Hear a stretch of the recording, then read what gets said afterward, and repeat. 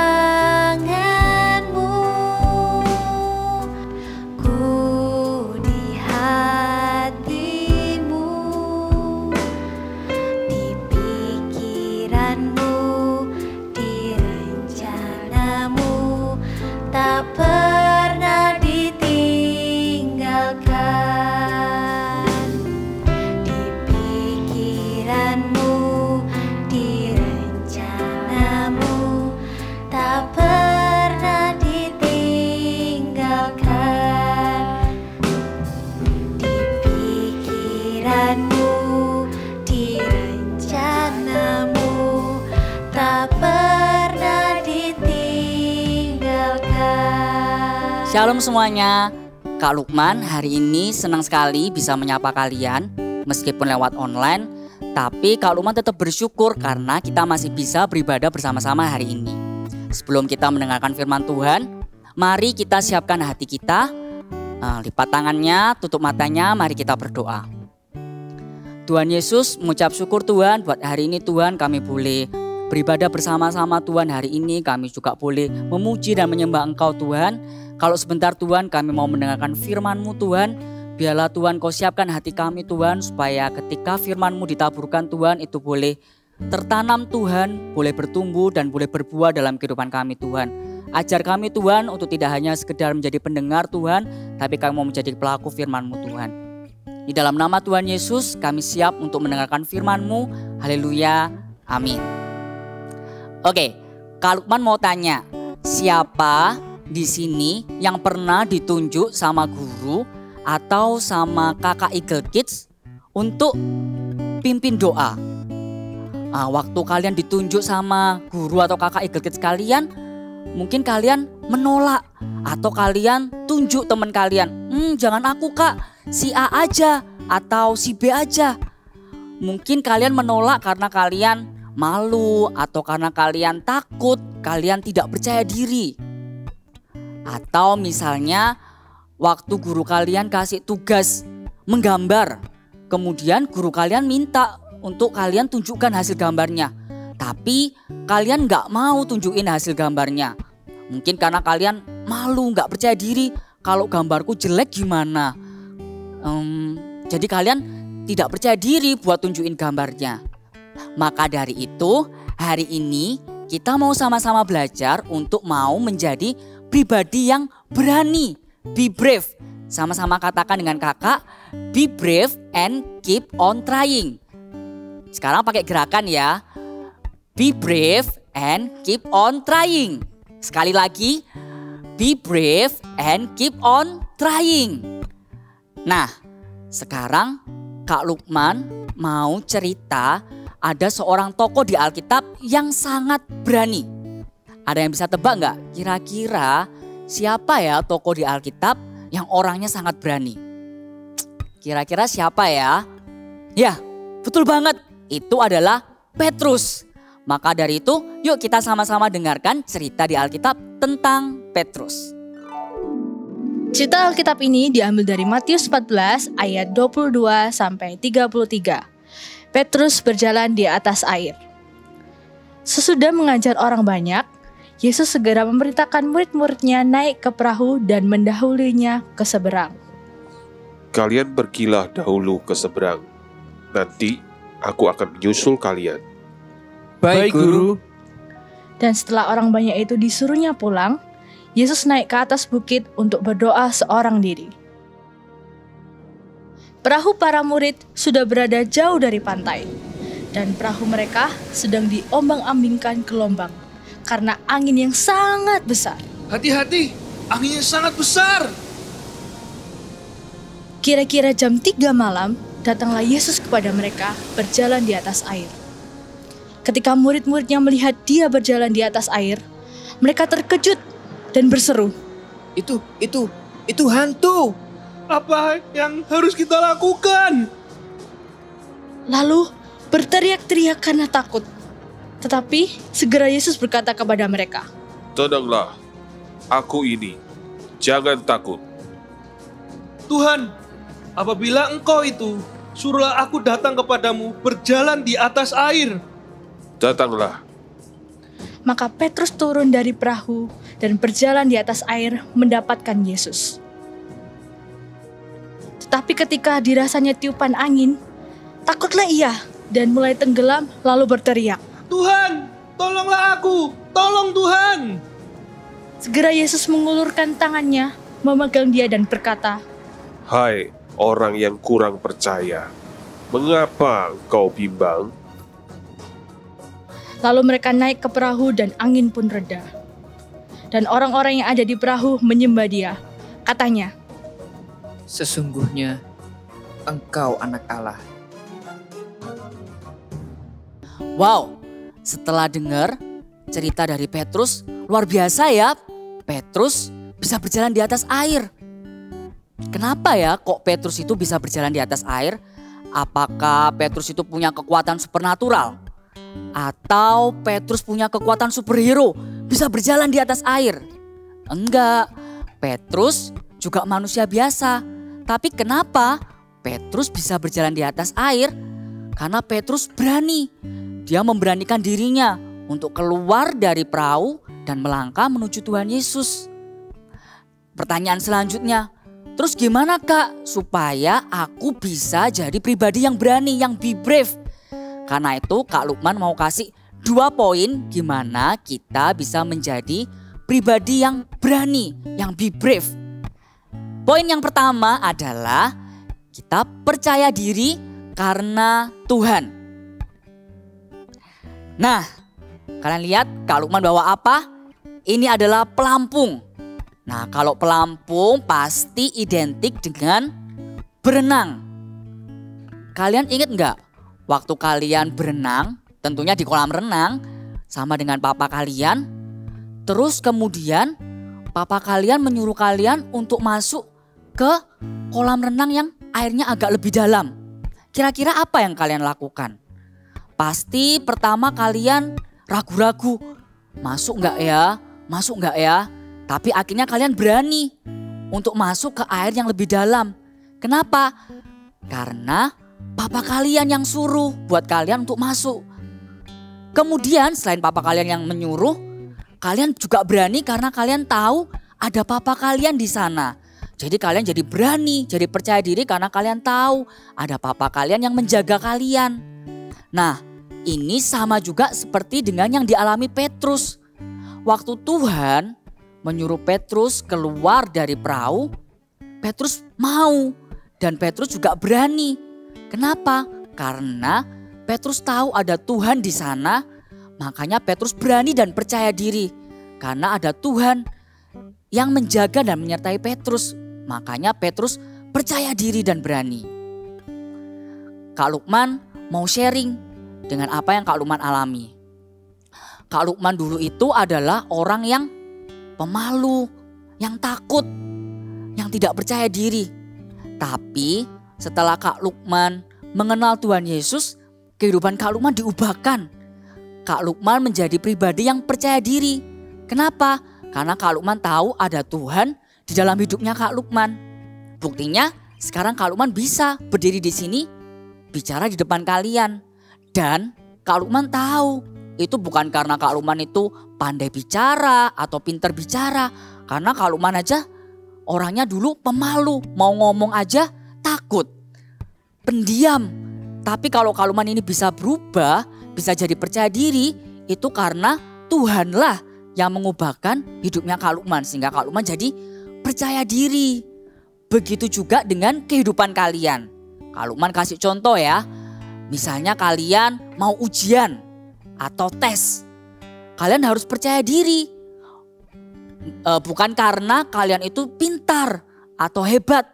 Tapi kalian percaya diri karena kalian tahu ada Tuhan yang menyertai. Ada Tuhan yang akan membantu, menolong dan memberikan hikmat waktu kalian ujian. Begitu juga misalnya kalian ikut lomba. Kalian juga harus percaya diri. Bukan karena kalian itu hebat. Oh ini loh aku hebat bisa ikut lomba. Aku pintar bisa ikut lomba. Bukan. Tapi kalian percaya diri. Karena kalian tahu ada Tuhan yang menyertai kalian. Waktu kalian ikut lomba Tuhan Yesus yang akan memampukan kalian. Karena itu di poin pertama ini kita mau jadi pribadi yang percaya diri bukan karena kehebatan kita, bukan karena kepandaian kita atau kepintaran kita, tapi kita percaya diri karena ada Tuhan yang ada di dalam hidup kita yang membuat kita itu jadi hebat, jadi pandai, jadi pintar. Amin. Jadi kita harus berani karena kita percaya diri karena ada Tuhan di dalam hidupnya kita. Nah, terus poin yang kedua adalah kita harus berani mencoba. Nah, Kak Lukman mau kasih contoh ada drama berikut ini. Yuk kita lihat sama-sama ya contoh drama berikut ini. La la la la la la la la la la la la la Haleluya. Senang sekali rasanya bisa bermain sepeda kembali Tubuhku terasa lebih segar Oh iya, adik-adik di rumah kalian juga bisa bermain sepeda belum? Kalau belum, ayo kita belajar bermain sepeda. Karena bersepeda itu menyenangkan loh. Aduh, susah banget sih naik sepeda. Ayo Jojo, semangat, kamu pasti bisa. Itu kayaknya Jojo sedang belajar bermain sepeda. Ayo kita samperin. Ayo, Aduh, bisa bisa. aduh, Ayo ayo. ah, ah, aduh, Jatuh. Ayo Jojo, gak apa-apa. Bisa bisa. Ah, aduh. sakit ya? C, Jojo nggak mau latihan sepeda lagi. Badan Jojo sakit. Dan lagi Jojo malu. Jojo, nggak usah malu. Aduh. Jatuh waktu latihan sepeda itu normal. Kalau jatuh, ya bangkit lagi. Gak apa-apa. Ayo kita coba latihan sampai kamu bisa ya. Iya bener Jo. Sorry ya tadi aku ketawain kamu. Tapi aku percaya kamu juga pasti bisa loh. Aku dulu juga gak bisa naik sepeda. Tapi aku mau mencoba untuk belajar naik sepeda. Akhirnya aku sekarang udah jago naik sepeda. Kamu pasti bisa. Iya, Jo. Terus mencoba. Semangat. Betul kata Feli. Orang yang gagal adalah orang yang berhenti mencoba. Cici yakin kalau mungkin sekarang Jojo masih jatuh-jatuh. Tapi kalau Jojo berani dan mau mencoba, Jojo pasti berhasil. Oh gitu ya. Ya udah deh. Kalau gitu Jojo harus berani mencoba. I have to be brave and keep on trying. Yuk adik-adik di rumah ikutin Jojo ya. I have, to, be brave and keep on trying. Nah, kalian sudah lihat drama tadi ya? Hal ini sama seperti yang dialami Petrus. Meskipun Petrus itu sudah percaya diri karena Tuhan, tapi kalau misalnya Petrus itu cuma diem aja dalam perahu, dia tidak berani untuk keluar dari perahunya, pasti tidak akan terjadi peristiwa Petrus berjalan di atas air. Tapi karena Petrus itu berani mencoba, makanya ada peristiwa Petrus berjalan di atas air. Sama juga dengan kehidupannya Kak Lukman. Misalnya Kak Lukman ini sudah percaya diri, tapi kalau Kak Lukman tidak berbuat apa-apa, tidak berani mencoba sesuatu, cuma diem aja, pasti juga tidak akan terjadi perubahan apa pun, tidak akan terjadi sesuatu. Maka itu Kak Lukman berani mencoba dari hal-hal yang kecil. Misalnya Kak Lukman berani untuk belajar untuk sharing cerita kebaikan Tuhan di komunitasnya Kak Lukman, di CG-nya Kak Lukman. Bukan khotbah loh ya, cuma sekedar cerita atau sharing kebaikannya Tuhan dalam kehidupannya Kak Lukman. Atau misalnya Kak Lukman berani mencoba untuk belajar berdoa buat orang lain. Gak harus pimpin doa, tapi belajar untuk mendoakan orang lain. Dari hal-hal seperti itu Kak Lukman mau berani mencoba. Sampai akhirnya Kak Lukman bisa berani bicara di depan banyak orang. Sama juga dengan kehidupan kalian. Kalian juga harus berani mencoba. E, Misalnya Kak Lukman kasih contoh. Misalnya kalian punya bakat menyanyi atau bakat main musik atau bisa pintar dalam olahraga tertentu. Kalian harus berani mencoba. Misalnya ikut lomba atau kalian masuk ke dalam pelayanan. Gak usah malu-malu. Kalian harus berani mencoba. Atau misalnya kalian sudah ikut lomba. Tapi waktu kalian ikut lomba, kalian gagal. Jangan takut. Kalian harus berani mencoba lagi. Ikut lomba lagi, berani coba lagi. Seperti yang di drama tadi. Waktu dia naik sepeda, belajar naik sepeda untuk mencoba dari sepeda roda tiga, untuk mencoba belajar sepeda roda dua, dia belajar tiba-tiba dia jatuh. Tapi dia tidak berhenti, dia tidak takut untuk mencoba lagi. Sampai akhirnya dia berhasil bisa naik lagi sepeda roda duanya. Karena itu kita juga harus sama. Selain kita tuh harus percaya diri karena ada Tuhan dalam hidup kita, kita juga harus berani mencoba. Gak perlu malu-malu. Kalau misalnya kita gagal, kita coba lagi. Jangan takut, kita harus keep on trying. Karena itu, hari ini kita mau ja- belajar apa? Jadi pribadi yang berani, yang be brave and keep on trying. Sama-sama katakan dengan kakak ya, dengan gerakan. Be brave and keep on trying. Sekali lagi dengan suara yang keras. Be brave and keep on trying. Karena itu, kita mau sama-sama belajar hari ini untuk jadi pribadi yang berani dan tidak takut untuk mencoba. Kita buka sama-sama ayat kita, big word kita di Efesus 3 ayat 12a. Kalau Lukman buka ya. Efesus 3 ayat 12a. Di dalam dia kita beroleh keberanian.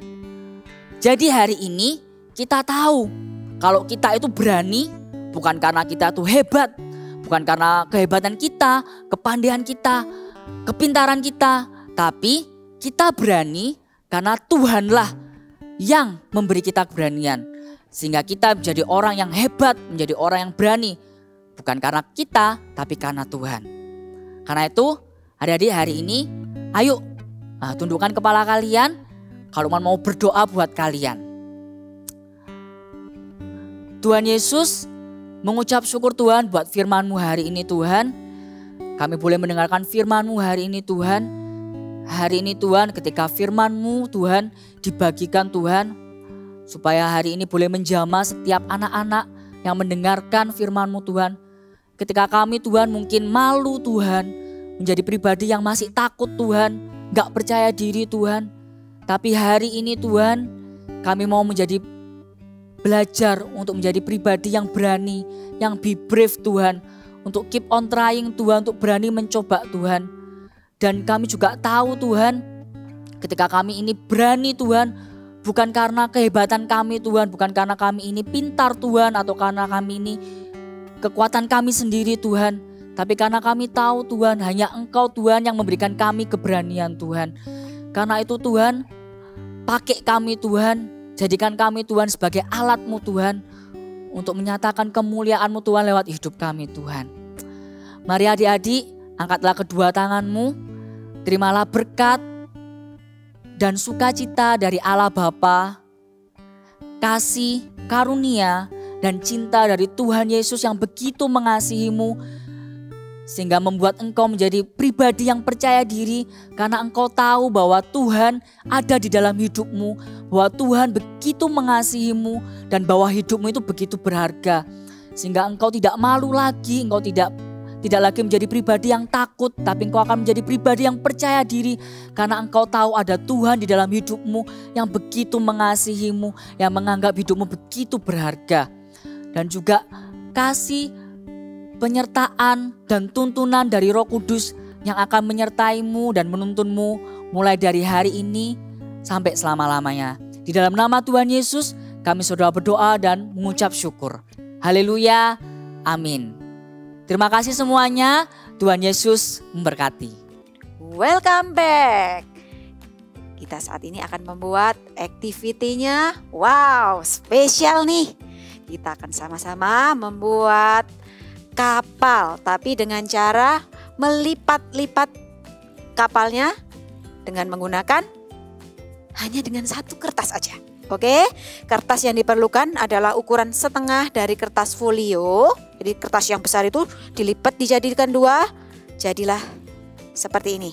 Ya, kalian bisa pakai yang lebih tebal karena kita nanti akan mainkan di dalam air, di atas air ya. Jadi Siapkan dulu kertasnya. Caranya lipat jadi dua. Lipat lagi. Bisa ya. Memang kalau kertasnya tebal agak berat ya, tapi nggak apa-apa, pelan-pelan.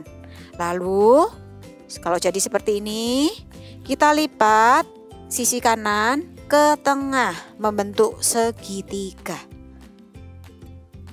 Oke, kita lipat sekali lagi. Yang sisi kiri. Usahakan yang rapi ya, supaya nanti uh, kapalnya juga bagus. Oke. Lalu di bagian bawah kita lipat ke atas. Di sini ada dua, lipat satu dulu. Dibalik lagi dibalik. Lipat juga seperti yang tadi kita sudah lakukan. Oke. Kalau sudah jadi seperti topi kan? Betul. Lalu kita buka. Nah ini dimasukkan ke dalam Begitu juga sebaliknya. Masukkan ke dalam. Oke. Kalau sudah seperti ini, dilipat ke atas. Dilipat, sebaliknya juga dilipat. Ya. Lalu dibuka. Lihat ya, sudah jadi segitiga lalu dibuka. Oke, siap-siap. Kapalnya akan segera jadi nih. Wow. Kapalnya sudah jadi. Jangan lupa untuk apa menuliskan big message seperti yang sudah kakak buat di depan ini. Tuliskan brave. Ya, berani, brave. Oke, kalau sudah ditulis brave boleh digambar-gambar atau dikasih eh, stiker-stiker juga boleh. Pastikan tahan air ya. Lalu nih menjadi ya kita akan sama-sama letakkan kapal-kapal kita ke atas air ya. Ini dia. Kita coba ya. Dibuka sedikit. Lalu mulai diletakkan di atas air. Oh, oh. Jatuh. Nah, it's okay, nggak apa-apa ya. Ini dibuka sedikit. Iya. Kalian bisa buat yang besar, yang kecil, atau yang eh, mini-mini pakai kertas biasa juga bisa. Oke, sudah jadi kapal kita. Wah, kalau kalian misalnya mau seperti Kak Monik mau berwarna biru, boleh diberikan air di atas airnya. Oke, see you and God bless you. Wah, hari ini kita belajar untuk percaya diri dan berani mencoba. Betul kak, kita tidak perlu takut melainkan kita harus percaya bahwa Tuhan pasti memampukan kita. Oke, sekarang kita sama-sama ya adik-adik. Kita katakan big message kita hari ini. Siap ya? Siap. Satu, dua, tiga. I have, to, be brave and keep on trying. Sekali lagi, I have, to be brave and keep on trying. See you next week. Bye-bye. Bye-bye.